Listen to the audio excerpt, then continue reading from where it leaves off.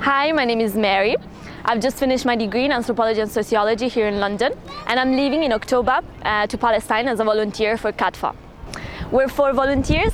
We'll be staying in Abu Dis in the West Bank for three months, and we'll be working alongside the community center uh, and schools and universities uh, to build stronger relationships between Palestine and Britain. It's a unique opportunity for young people like us who believe in human rights. Um, in this way, we can give our support to the Palestinian community and try to improve the situation. Hello, my name is Horace Yakubi. I have just graduated uh, from Leeds University in philosophy and economics. I, um, I got involved in CADFA um, fairly recently, um, which is a, um, a, project which I'm local to in Camden. Um, I am going to a visit in uh, Palestine, uh, which is a, um, a three-month voluntary project which I'm doing in Abu Dis. I think it's, one of, it's a very important thing, being able to first-hand understand and talk to people about the situations that are going on in Palestine. When you talk to the average person in London about Palestine, people find it difficult to know what to think about the issues there because it's very complicated, obviously.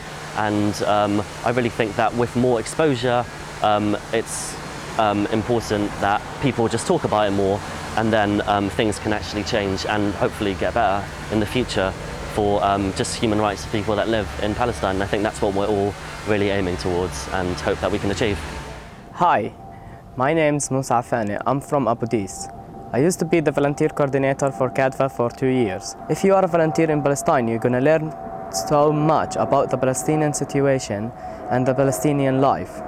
Lots about language and heritage and traditions, and also human rights and the Palestinian life under the occupation. You can help the Palestinian kids and the Palestinian students to improve their language and to teach them more about English language and about the European culture and lots about life and human rights. Hi, my name is Zainab and I travelled to Dis with CADFA earlier this year as an EVS volunteer.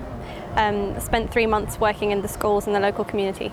I had an incredible three months um, and I made some great friends who I'm still in touch with um, and, and something I really learned was that you have to be in a situation to, to get a sense of it, to understand it. It's really worthwhile to be on the ground and to talk to, to real people who are living the situation day to day before you can really form an idea of what's happening.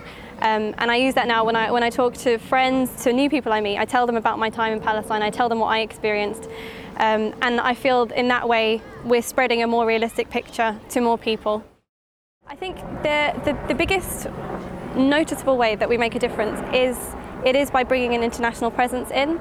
So in the case of within the schools that we worked in, we really we really expanded the world of these children um, and made them realise that there are people outside who are interested in how their lives are, and they were also very excited to hear about what life was like in the UK. Um, with the older students, the university students, and some of the the adult classes that we did, um, I think the, the biggest feeling I got from them was that they wanted us to be their voice abroad. They said, you know, you've now been here and lived side by side with us. Um, you know what it's really like. So they wanted us to go home and tell other people about the situation. Hi, I'm Claudia. I was in Palestine for three months with CADFA. We felt incredibly welcomed. People appreciated so much that we were there and that we wanted to to really stay there for a long time and understand what it was like for them. I learned so much about, about generosity and about courage. Um, I, was, I was so in awe of the people there and inspired by them. Children would always run up and they'd remember our names, so they'd run down the street and wave and shout hi. And I felt part of the community and I felt like they really welcomed us and, and were incredibly kind and, and wonderful. But they wanted to help us, they wanted to show us how they lived and they wanted us to be able to go away and communicate that to other people. I think it's, it's, it's really important for the project to continue and for more people to go. Uh, I, think it's, I think it's important for people to, to experience the situation for themselves and to understand that